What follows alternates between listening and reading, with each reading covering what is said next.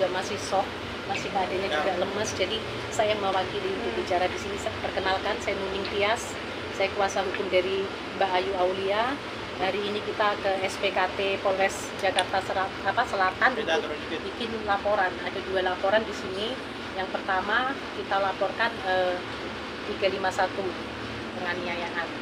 Yang kedua laporan kita undang-undang ITE karena di sini jelas ada korban ada peristiwa hukum eh, yang kejadiannya juga semalam tanggal 2 Oktober tahun 2023 sekira pukul 18.00 WIB Eh, di situ Mbak Ayu niatnya mau makan ke tempat makan. Ya.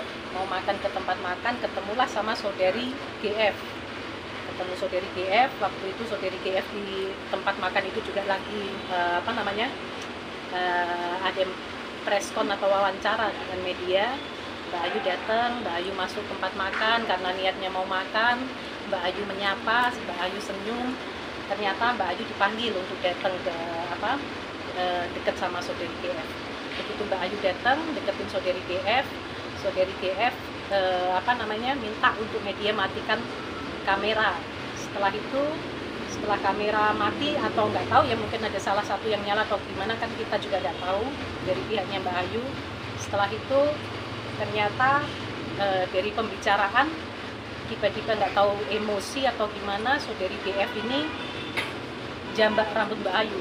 Rambut jambak tarik terus tangan nyakar ke leher cengkeram cengkeram apa namanya lehernya juga sempat dorong Mbak Ayunya eh, apa namanya sempat terjatuh ke kena meja kena meja tangannya ya ada luka juga kena meja.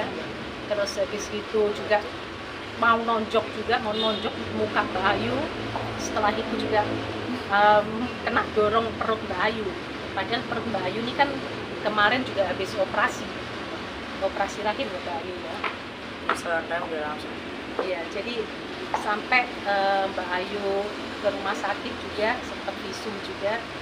Sudah untuk bukti-bukti kita semua lengkap. Maka dari itu hari ini kita laporkan saudari GF ada juga perkataan saudari GF yang juga menurut saya se- karena saya juga istilahnya ini kaum saya ini perempuan kaum saya yang harus saya bela. Dan mungkin pihak sana juga perempuan harusnya janganlah ngomong kasar seperti itu. Dan gitu semua kan bisa dibicarakan baik-baik. Ada ngomongin Mbak Ayu ngomongannya juga kasar eh, ada ngatain Mbak Ayu L ya huruf depan L itu itu kan juga nggak elok sebagai perempuan seperti itu. Harusnya apa pun masalahnya kan bisa dibicarakan baik-baik apalagi ini sama-sama perempuan kan gitu.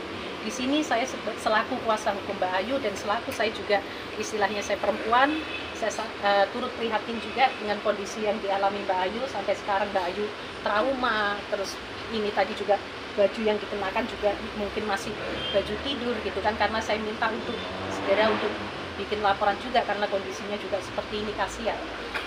Seperti itu. Ada lagi? Ayo, boleh uh, ketika kejadian kemarin mungkin uh, apakah langsung melakukan visum atau seperti apa? Iya. langsung melakukan visum. Jadi hari ini laporannya langsung diterima? Laporan diterima dan sudah visum jelas sudah jelas sudah visum juga ada bukan tiga lima satu. Ya? 351 ya. iya, penganiayaan berat karena istilahnya sampai shock, sampai trauma, sampai nggak bisa bekerja, ini kan sudah sangat merugikan. Sudah sangat merugikan Mbak Ayu, Mbak Ayu ini kan juga bekerja, istilahnya bukan pengangguran. Dengan keadaannya seperti ini kan rugi Mbak Ayu jadi nggak bisa bekerja, mengalami trauma psikis, banyak kerugian materialnya. Mungkin boleh diceritain ulang mungkin ya. Iya. Ya, memang sebelumnya terjadi masalah apa sih sampai kejadian ini? Jadi masalahnya sebenarnya kan Mbak Ayu ini yang disampaikan saudari GF, Mbak Ayu katanya ada dekat dengan mantan, saya bilang mantan ya bukan bukan suami loh ya, mantan mantan suami. Tapi kan itu kan apa ya asas praduga tak bersalah masih patut diduga kan belum terbukti. Kalau memang ini buktikan dong, silahkan dibuktikan, tunjukkan buktinya, baru ngomong yang baik, bukan terus nganiannya ini perempuan loh kok mau jadi preman-premanan kan gitu ini perempuan sama-sama perempuan harusnya kan bisa bicara dari hati ke hati di ring tanya. tinju di Nah, kalau ring tinju oke, anggap ring tinju itu kan olahraga. Oke, kayak kemarin siapa?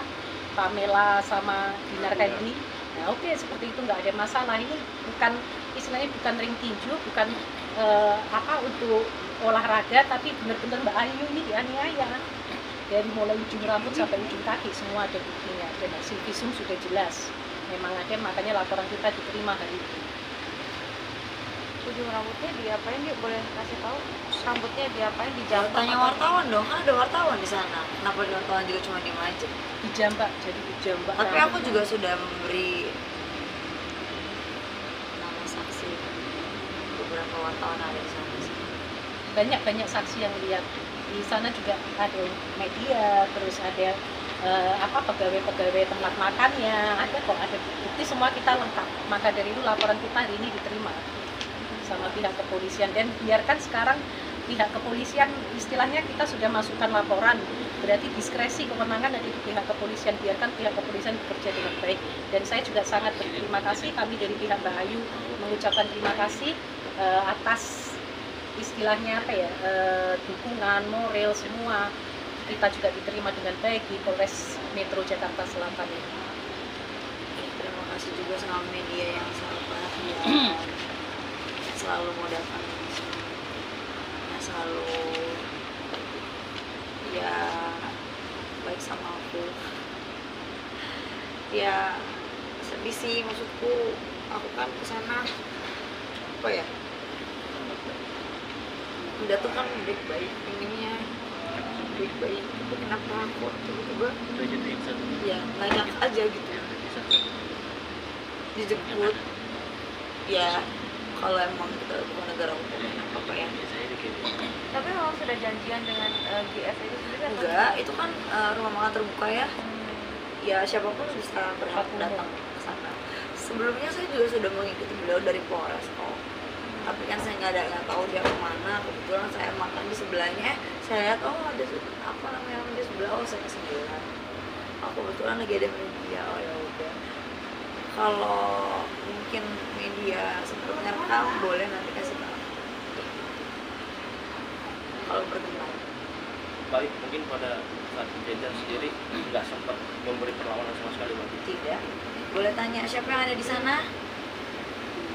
Jawab aja nggak perlu namanya. Jawab dengan lantang apakah saya memberi perlawanan? Diam. Kenapa Mbak? Karena saya tahu ini. Hukum Mbak, dari pasal yang disangkakan itu ancamannya berapa ya?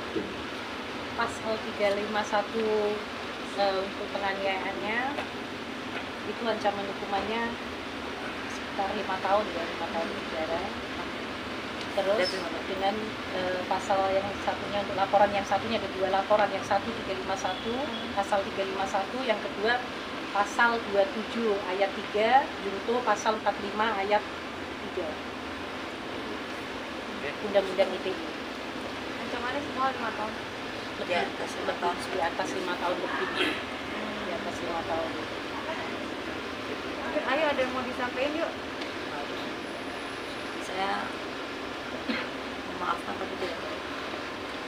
Tapi sudah berkomunikasi dengan GF oh, terkait ini. maaf tidak. Sama sekali saya tidak mau tidak ada komunikasi dan dia juga tidak ada permintaan maaf gitu setelah menganiaya yuk. Mau minta maaf pun buat saya nggak ngaruh. Aku nggak ada itikat baik Mbak ya dari dia sendiri. Nggak ada dia, sama ya. sekali buktinya apakah dia minta maaf setelah itu? Dia hanya pergi gitu aja.